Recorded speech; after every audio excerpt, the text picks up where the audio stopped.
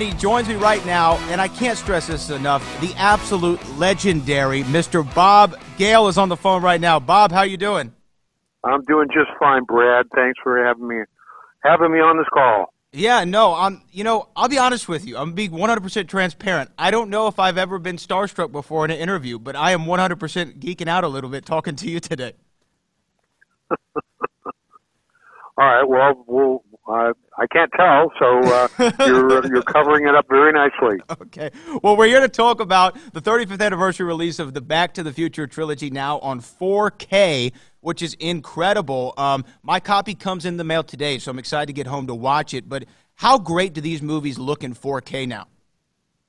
Oh, it's absolutely amazing. They they look better than they ever looked in the theater. Uh, it's the what's what's actually what they can actually capture from the original film negative uh, that just kind of goes away every time you make a film print.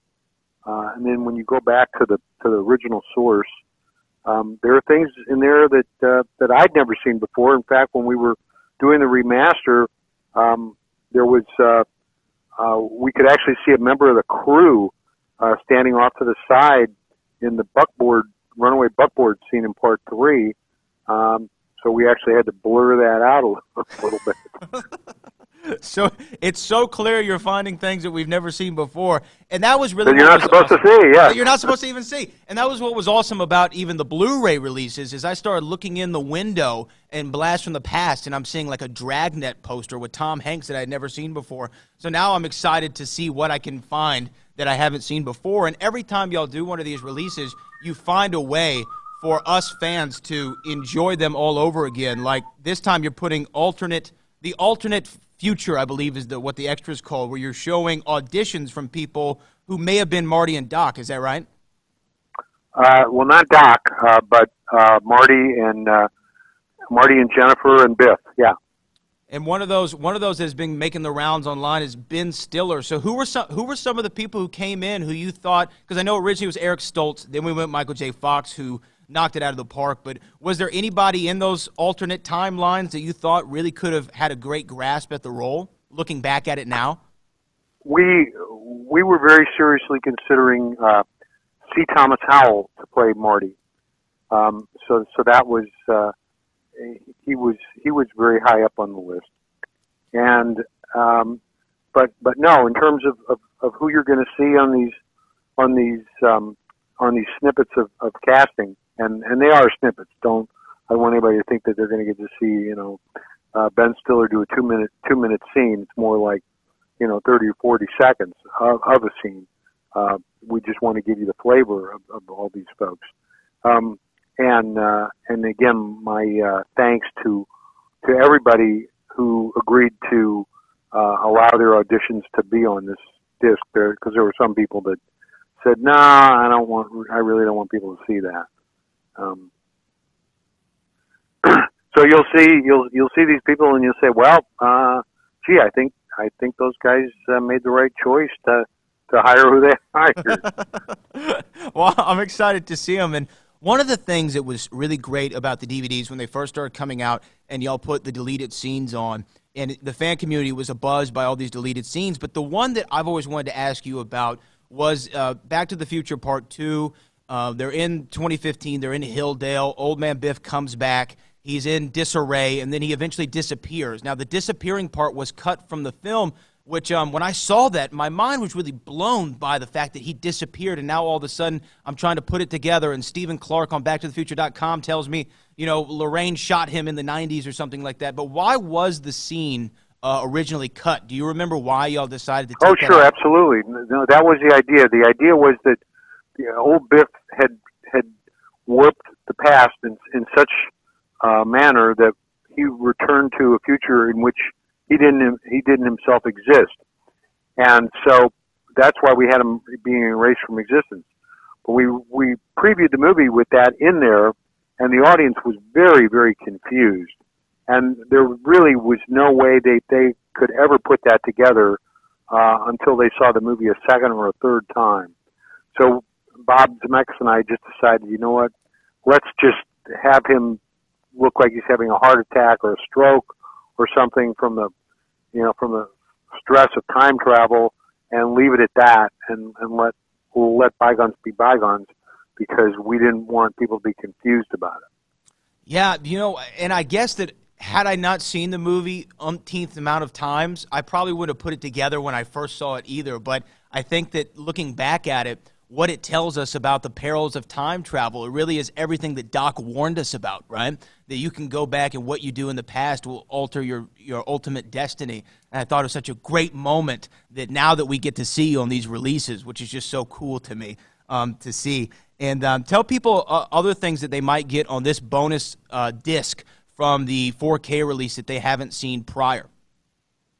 Well, there is uh, currently at the Hollywood Museum here in Los Angeles a Back to the Future exhibit of, uh, of props of some of the cars, uh, costumes, uh, artwork, uh, memorabilia, uh, of course, uh, with COVID, the, the museum is closed, so you can't actually go in and see it right now.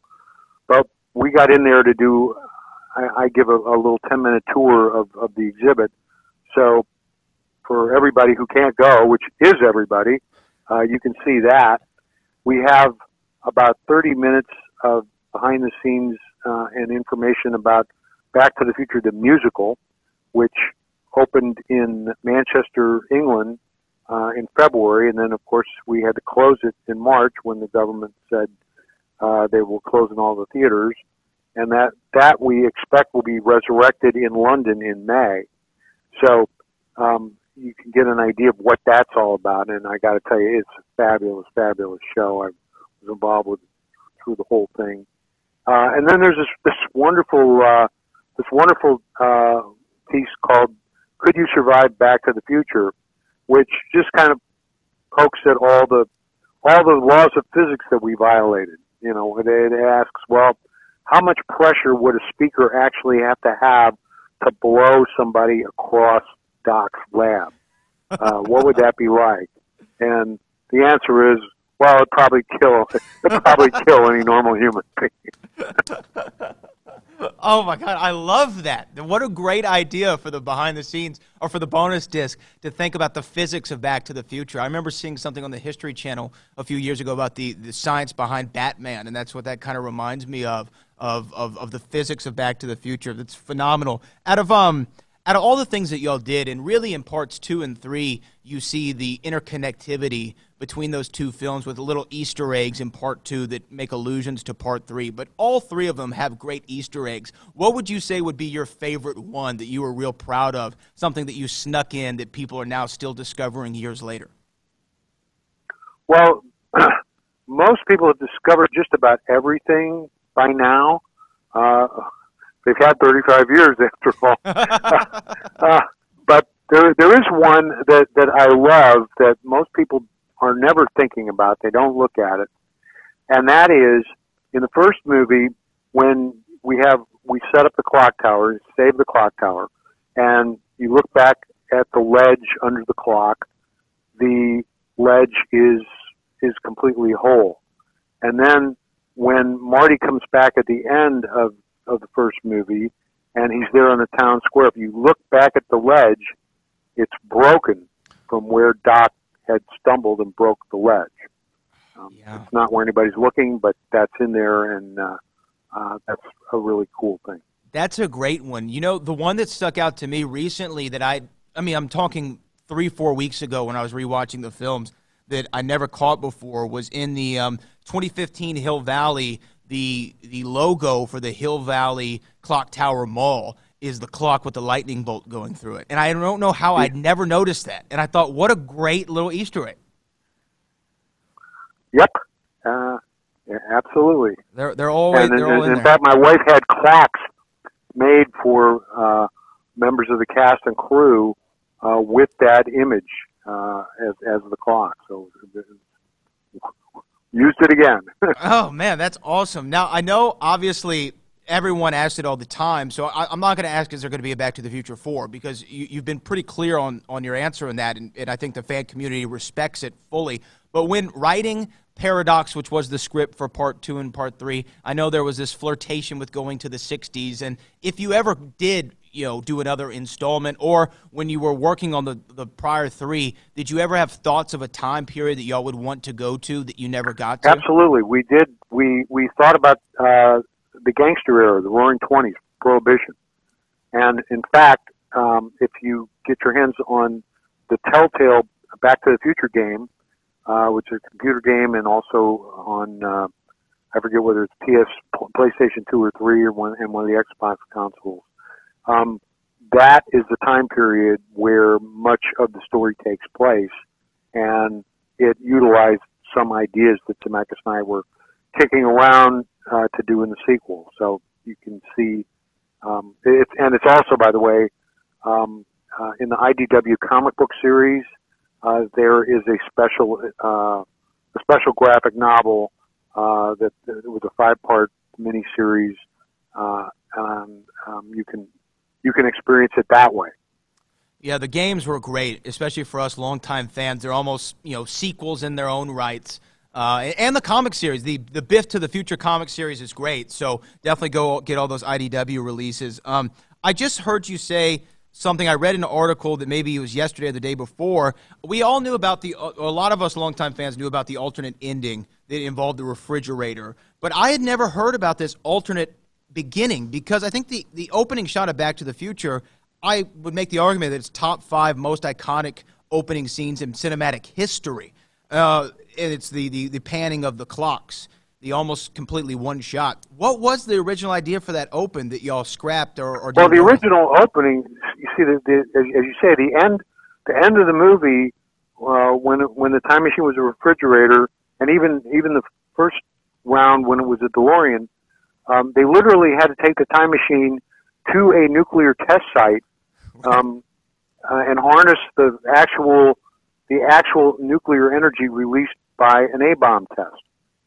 So that was the that was of course uh, utilized by uh, Mr. Spielberg in Indiana Jones 4, Nuke the Fridge, right? Um, so the opening of, the, of Back to the Future was a scene in a classroom where the class was watching a documentary about these nuclear tests so that everybody in the audience would be educated about what went on at, at these nuclear tests in, in Nevada back in the 50s. And so when we changed, when we changed that out, uh, it was too expensive for us to do. Um, and we were trying to figure out how we were going to save some more money in the, in the movie. Um, Bob and I realized we didn't need to have a scene setting up nuclear test site because we don't have nuclear test anymore. And we already had built this wonderful set of Doc's lab. So let's do a little homage to one of our favorite time travel movies, the George Pal Time Machine, uh, and start with this great opening long uh, tracking shot over all these clocks and how much you learn about Doc Brown Hill Valley just in those opening two and a half minutes. Yeah, that's I, I love hearing stuff like that. I just love knowing what the thought process, and then and then having to cut something gives you this iconic shot that everybody and their mother knows about, and uh, that's another great scene to look back and see all the little Easter eggs, even with the Harold Lloyd and Safety Last illusion that we see later on in the film. Such great. I could go on and on and on, but I, I have one more minute with you, so I'm just going to ask ask you this. Um, and I want to tell you, and I, and I mean this with all sincerity, Mr. Gale, these movies have meant so much to me and so many people. Um, I, I've been with this franchise for as long as I've been alive, and I found new ways every single year to either show it to someone new or to make a new connection to it, whether that was when my grandmother got diagnosed with Parkinson's. Um, again, I just became even more entrenched and, and, connected to this series. Why do you think Back to the Future has lasted these 35 years, and, and why will it continue to last for generations to come, in your opinion? Uh, to me, I think the, the power of Back to the Future is the humanity of it. You know, people talk about, oh, the car is cool and the special effects and all the bells and whistles.